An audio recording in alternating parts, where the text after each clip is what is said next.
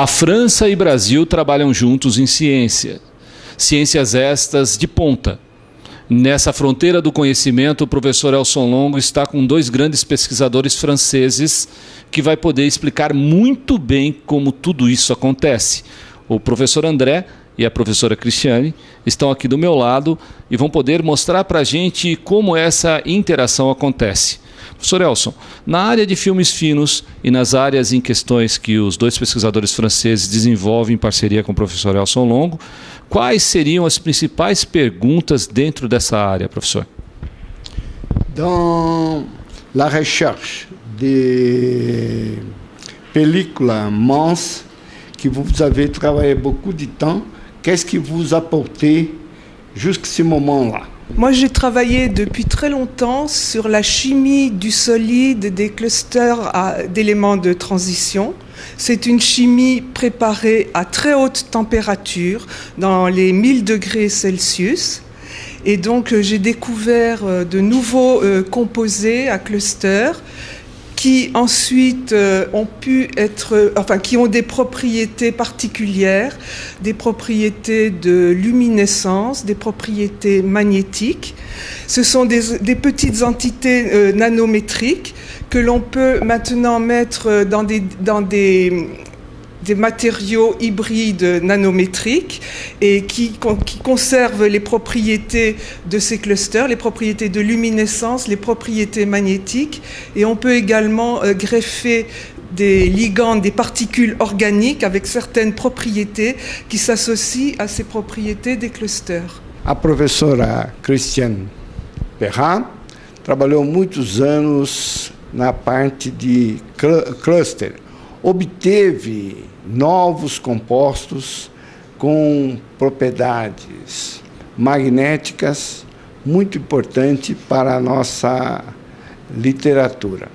E também ela, ao longo desses anos de trabalho, deu um, um aportou à literatura científica é, muito conhecimento diferente é, das dos clusters. E esses clusters são extremamente importantes, porque eles têm propriedades particulares quando são nanométricos. É a nanotecnologia que dá propriedades, como todos os ouvintes sabem, é, propriedades diferentes e que podem ser é, colocados nos novos materiais. Com isso, a professora Cristiane Perrat, ao longo do, da sua carreira científica, que nós conhecemos, deu um conhecimento novo para a literatura.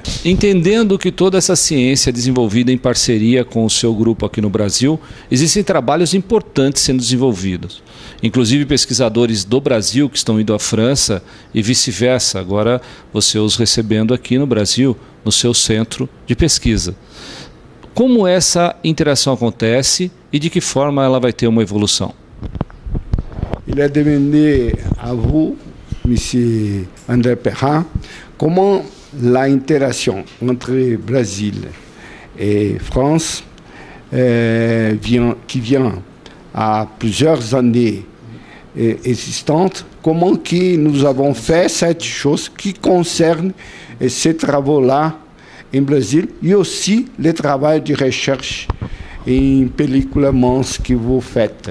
Oui, alors en fait, j'ai travaillé avec euh, Christiane sur les clusters pendant nombreuses années, mais également j'ai développé à Rennes un laboratoire de couches minces.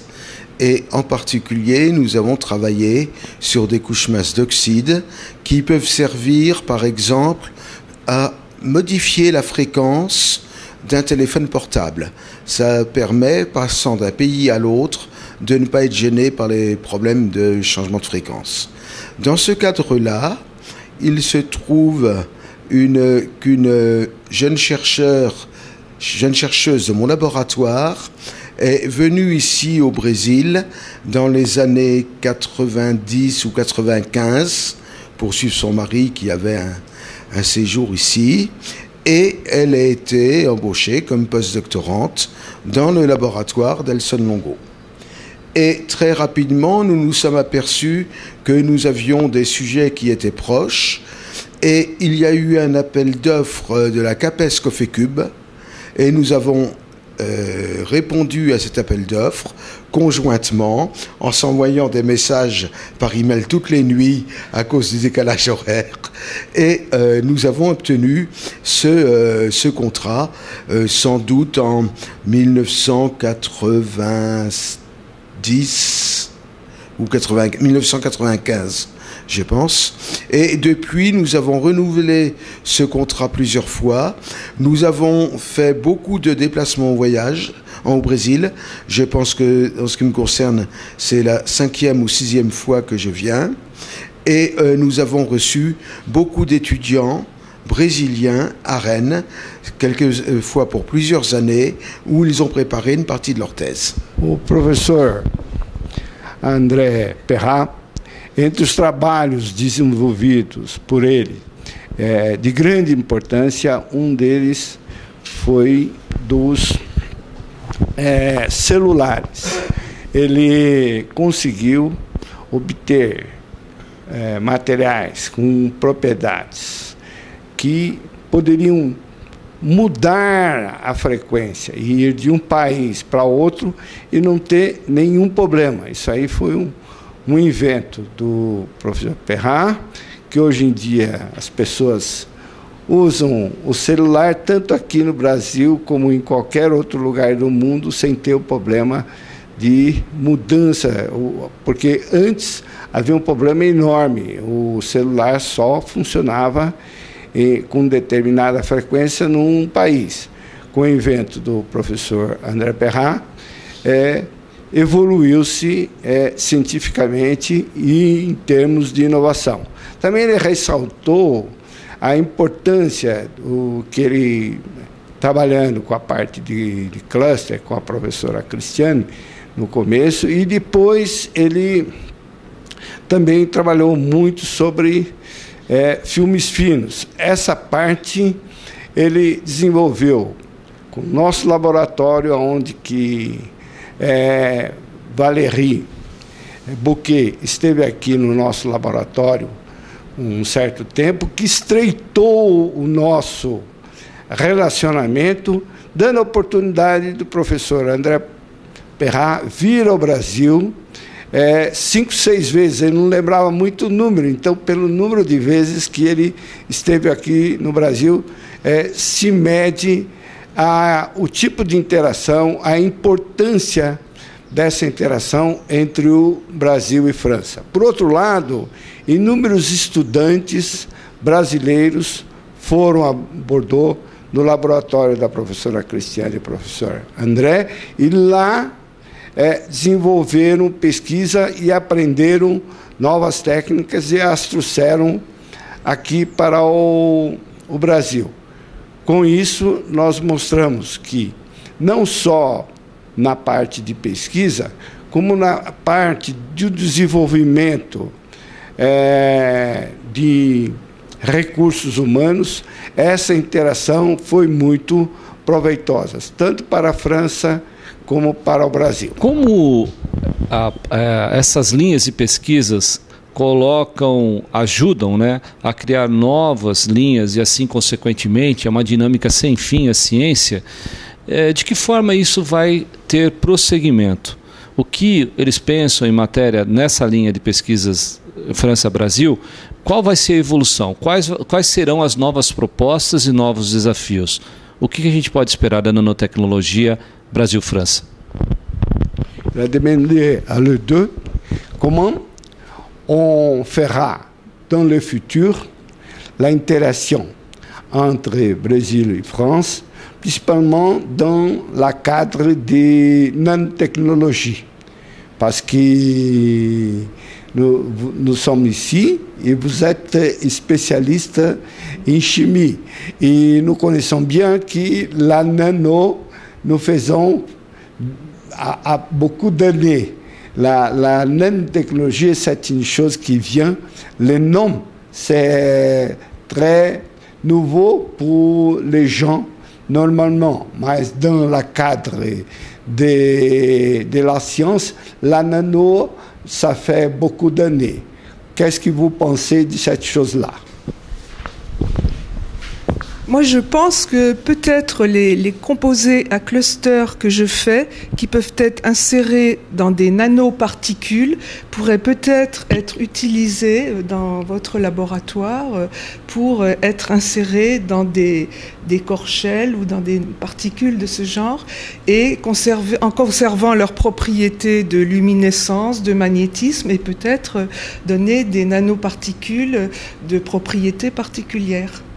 É, dentro desse, dessa sua questão, Kleber, a professora Cristiane disse que para o prosseguimento das nossas pesquisas, ela tem clusters que nós vamos poder, é, aqui no nosso laboratório, fazer um, um corchel para o ouvinte é, é, seria como um, uma parte central, que seria o, cluster, envolvido com outro material, melhorando as propriedades.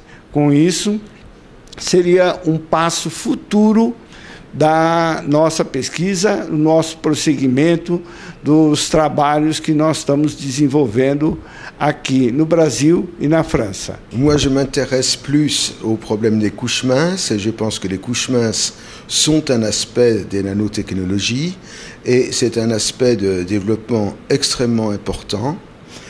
Il se trouve que euh, j'ai moi-même développé, j'ai moi-même construit un laboratoire de couches minces que euh, ici à San Carlos, il y a un projet qui est en train de se finaliser pour mettre en place une euh, méthode d'ablation laser. Et je pense que dans le futur, euh, nous pouvons continuer à interagir sur cette méthode qui va être utilisée ici, qui a déjà été utilisée en France par des étudiants qui viennent de ce laboratoire, qui sont venus se former dans notre laboratoire. Et donc, évidemment, les liens vont risquer très forts entre la France et le Brésil, entre le laboratoire de chimie du solide de Rennes et le LIEC ici. Professor André Perra é um grande especialista em, em laser ablation. É um equipamento que nós estamos é, praticamente terminando de instalar aqui em São Carlos. Ele se dispôs a participar ativamente com as pesquisas aqui em São Carlos e ressaltou que vários estudantes estiveram já na Universidade de Rennes é, trabalhando nesta técnica que ele desenvolveu todo um laboratório em Rennes.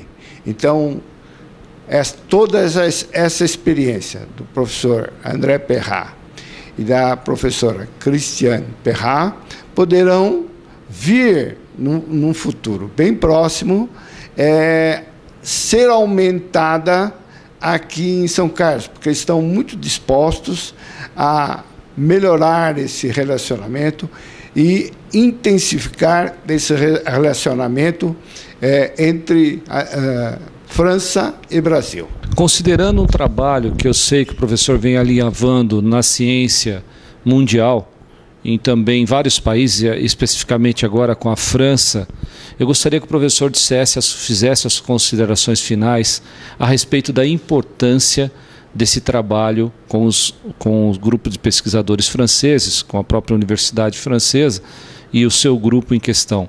Qual a consideração, qual a importância desse brilhante trabalho? É, nós podemos ressaltar que com a França nós temos já uma interação que faz, não vou falar o tempo, mais de 35 anos, que nós temos uma interação com a França, nós já tivemos interação com Bordeaux, é, com Paris e mais, a, mais profícua, a melhor interação, a que deu melhores resultados foi com o professor André Perrat e Cristiane Perrat, que foram pessoas é, é, além de pesquisadores, além da competência desses dois pesquisadores, a convivência com eles é extremamente agradável. Então é um grande prazer, é, não só científico, mas também da convivência ter esses dois ilustres pesquisadores aqui no Brasil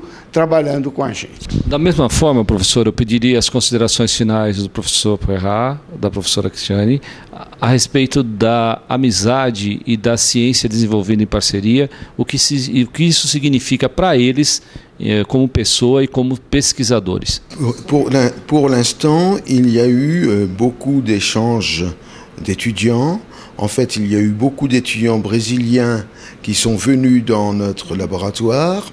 Il y a eu beaucoup de missions de chercheurs de notre laboratoire pour venir donner des séminaires ou des cours ici au Brésil. Euh, j'espère que dans l'avenir, ce genre d'échange va continuer. J'espère aussi que, à l'inverse, ce seront maintenant des jeunes professeurs brésiliens qui viendront donner des cours en France de façon à ce que les échanges restent complètement équilibrés. Et ce serait une très bonne chose de donner aux, nos étudiants français euh, un point de vue un petit peu nouveau, un peu différent, donné par des gens plus jeunes, d'un pays plus jeune, un pays en plein développement. C'est ce qui fait peut-être un peu la différence entre le Brésil et le vieux continent, dont la France. En fait, je dois dire qu'on apprécie beaucoup la jeunesse et le dynamisme que l'on retrouve dans le laboratoire brésilien, en particulier dans le laboratoire du professeur Longo.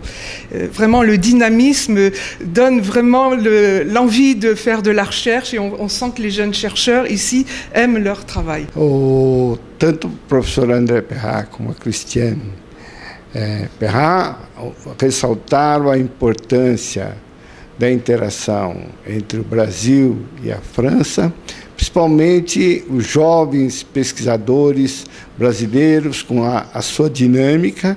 E o professor Perrat ressaltou que eles, os franceses vieram dar cursos aqui é, no Brasil e ele espera que no futuro muito próximo os brasileiros irem à França mostrar é, ao velho continente que também aqui no Brasil os brasileiros é, têm algo a dar da, da nova ciência. E a professora Cristiane Perrat ressaltou também é, a importância que existe desta interação, desse vigor de interação que existe entre o, os dois países, principalmente do nosso laboratório.